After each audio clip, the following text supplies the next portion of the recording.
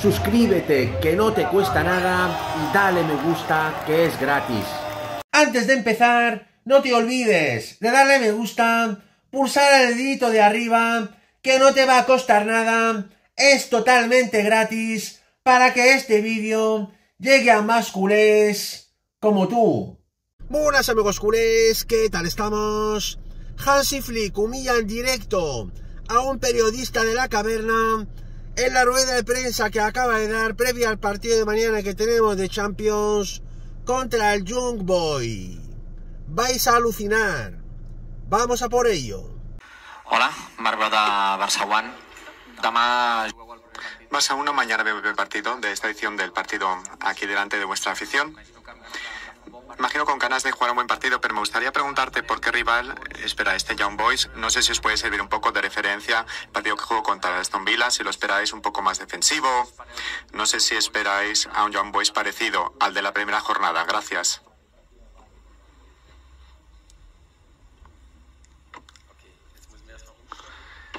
Bueno, ahora tengo que cambiar al alemán.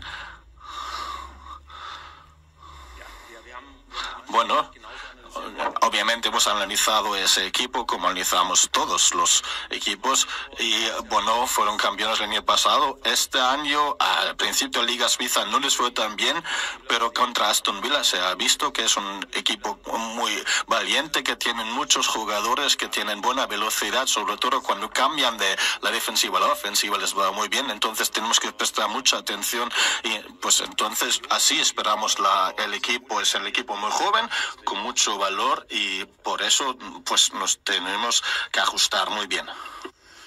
Què tal, Hansi? Uh, Gonçal Morri de, de Catalunya Ràdio. Si cogemos este binomio, estos dos partidos contra el Osasuna y Young Boys ahora, parece que priorizaste el estreno de la Champions en casa y es lo que pasó en la primera jornada contra el Mónaco precisamente. ¿Consideras que es el partido con más presión que has tenido desde que eres entrenador del Barça?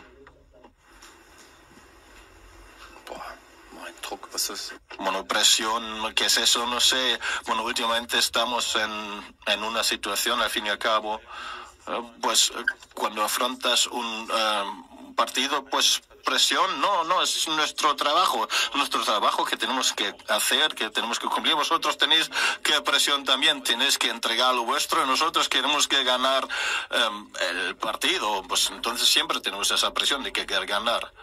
Uh, pues yo creo que este partido, bueno, contra Mónaco, contra el Mónaco, bueno, hay que quitarlo de la mente, o bueno, porque aquí después de los primeros 10 minutos ya era otro partido. Ahora, bueno, estamos sin puntos todavía, pero jugamos en casa contra un equipo que acabo de decir que es bueno, que con mucho derecho están en la Champions, pero queremos ganar este partido. Y bueno, tenemos la confianza suficiente para afrontar ese partido con esa mentalidad y Osasuna hay que tomar decisiones cómo afrontamos los próximos partidos. Este partido también el, el domingo que viene son partidos muy importantes para nosotros y necesitamos piernas frescas, como digo, y por eso es importante que, bueno, el domingo pasado lo tuvimos en cuenta también. Hola, Hansi, Marta Ramón de, de RAC1. Et volia preguntar pel... Te quería preguntar por la, vuelva de, la vuelta de Frenkie de Jong, ¿qué significa futbolísticamente para ti su vuelta? Recuperamos a un jugador de estas eh, características, si se hay una mosca por allá. ¿Qué representa para ti recuperar a Frenkie de Jong futbolísticamente y qué plan tienes con él teniendo en cuenta que hace cinco meses que está de baja? Ya. Bueno, para empezar, es una gran, gran noticia, muy, muy buena que pueda volver Frankie al equipo, aunque sean solo cinco minutos, diez minutos.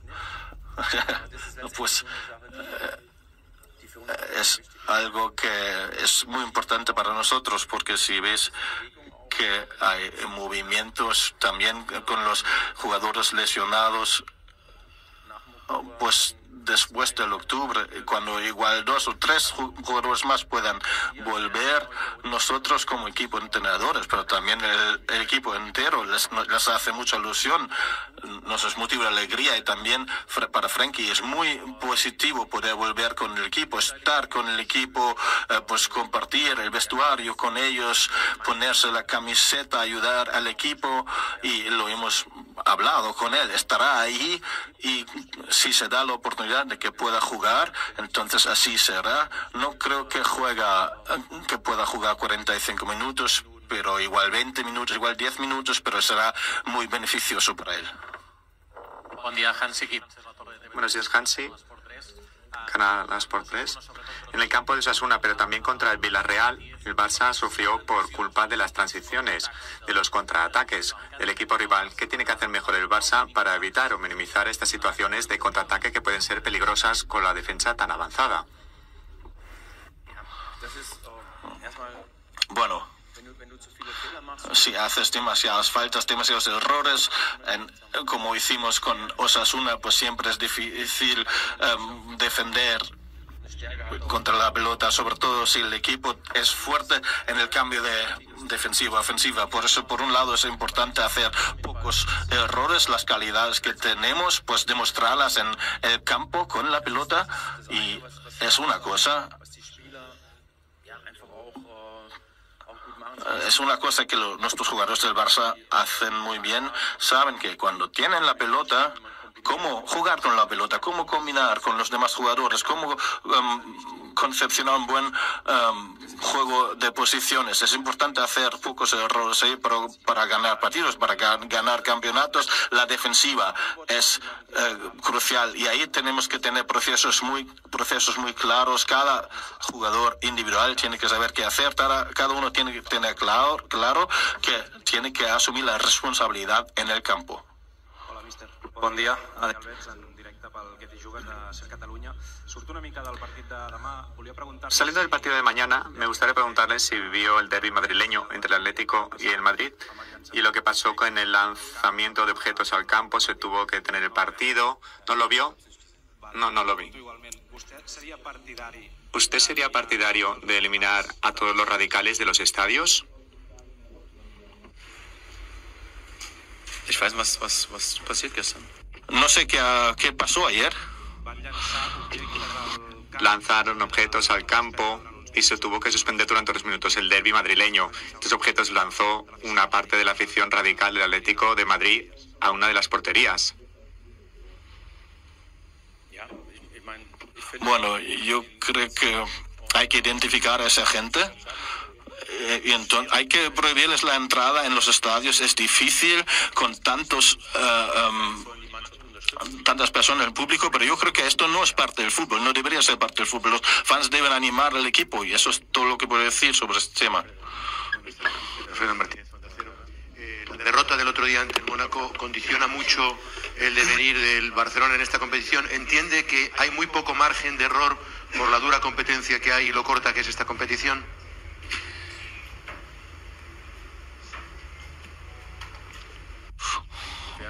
no. Jugaremos con el equipo del, que pensamos que es el mejor equipo para enfrentar a los Young Boys Bear. Tenemos la confianza suficiente para poder decir que queremos ganar ese equipo. Claro, el primer partido pues se perdió, pero para mí no es ninguna razón para pues estar deprimidos. Eh, hubo razones por las que el partido fue como fue contra Monaco y ahora pues la meta es ganar los primeros tres puntos en nuestra propia casa y todos pues no sabemos cómo será este nuevo Murla Champions, cuántos puntos harán falta y por eso es importante que bueno, alcancemos los máximos puntos posibles desde el inicio. Sí, hola Hansi, eh, Jordi Batalla, Mundo Deportivo. Eh, Me gustaría preguntarte por las bajas, sobre todo en medio del campo, sin Eric García, que jugó, jugó de, de, pivote en los últimos partidos. ¿Qué alternativas contemplas? Y si Frenkie, que no será titular, si crees que puede tener más minutos de los que preveías al principio. Gracias. Bueno, en el caso de Frankie, pues habrá que ver cómo transcurre el juego y con la tarjeta roja de él. Pues bien, como hemos escuchado, el periodista cavernario le pregunta a Hansi Flick sobre el lanzamiento de Becheros ayer de Luanda, el del madrileño, y el entrenador alemán le dice que no lo he visto, no sé lo que pasó, no he visto el partido. Pues bien, aparte de la humillación del entrenador alemán a ese periodista cavernario, también Hansi Flick ha confirmado una muy buena noticia que Frankie de Jong puede jugar mañana contra el equipo suizo unos 5 o 10 minutos. Esto ha sido todo por hoy amigos culés, no os olvidéis suscribirse a mi canal, que no os cuesta nada, pulsar un like como siempre y dejarme comentarios para cambiar opiniones. Muchas gracias, Forza Barça por siempre, vamos a por el partido de mañana y nos vemos muy pronto en mi próximo vídeo. ¡Vamos!